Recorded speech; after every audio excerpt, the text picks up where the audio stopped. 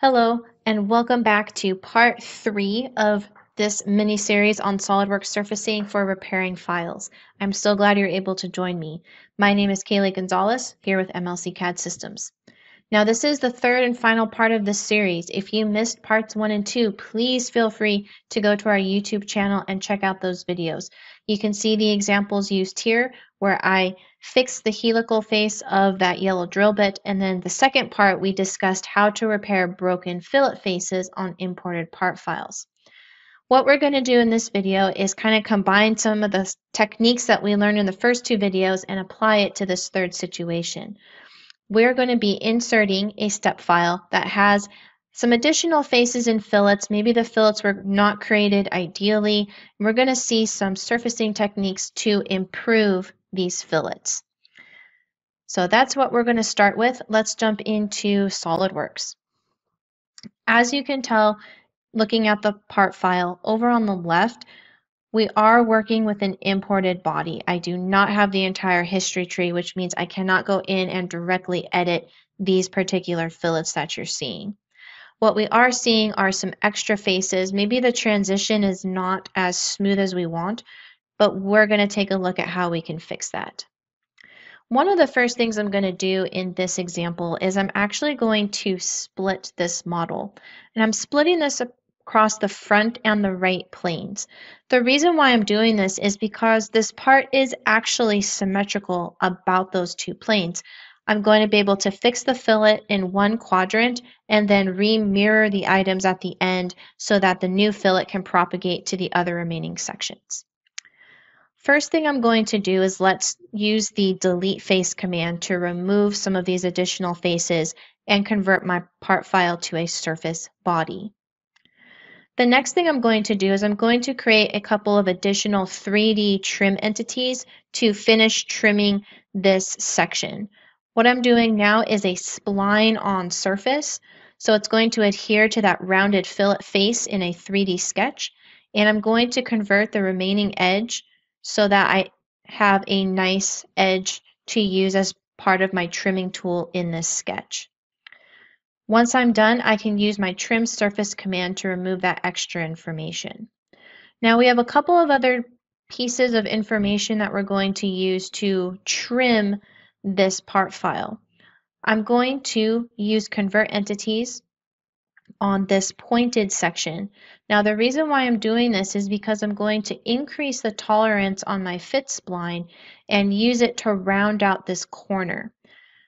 Instead of having a very sharp edge, it's going to give me a single uniform spline, plus it's going to give me a rounded radius that I'm going to be able to use to get rid of that sharp corner. And when we zoom in, you'll see it is a small change, but these small changes can make big differences in our model. And we can use our trim surface to remove the sharp point, and we're left with a nice rounded curve in that section. Now we could perhaps make that a little bit more rounded, but we're going to leave with kind of the original shape of the fillet. I have one more trim I'm going to do. I'm going to go into a 2D sketch and I'm going to add a spline for this last section. And I'm going to add some sketch relations to this spline. You can actually add things such as vertical and horizontal sketch relations to spline handles, as well as to the control points. This is going to guarantee that this spline is going to be tangent and have kind of that continuous curvature we would expect. And we can trim the excess material away. From here, I'm going into a 3D sketch. I'm getting ready to clean up my sketch profiles, which is what I'm going to be using to actually do a loft or a boundary surface. So typically what I've been doing is I will convert edges to sketch entities, and then I will add any remaining profiles and then start using a fit spline to clean it up.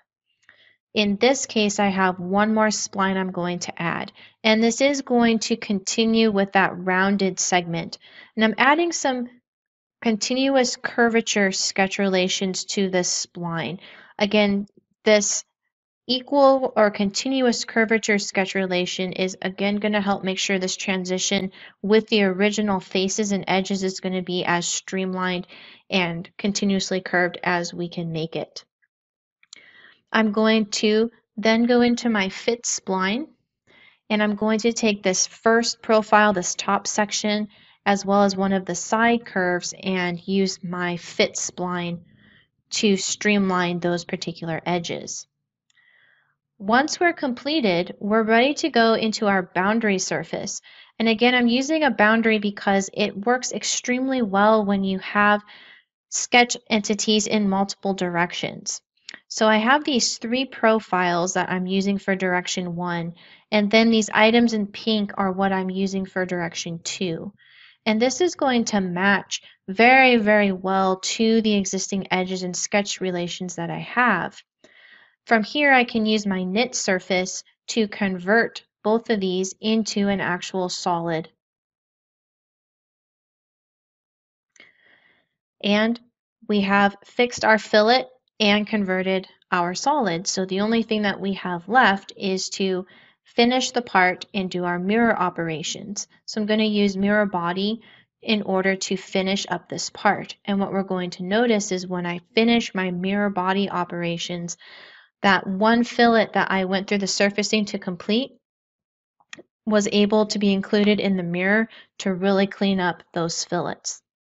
Again, it's kind of scratching the surface on what we can actually do as far as utilizing SOLIDWORKS surfacing to fix parts. If you have any questions about what you saw in this video or the other two videos, please feel free to reach out to us here at MLC CAD Systems. Glad to answer any questions that you may have. So thank you for your time and joining me in this mini series and have a great day.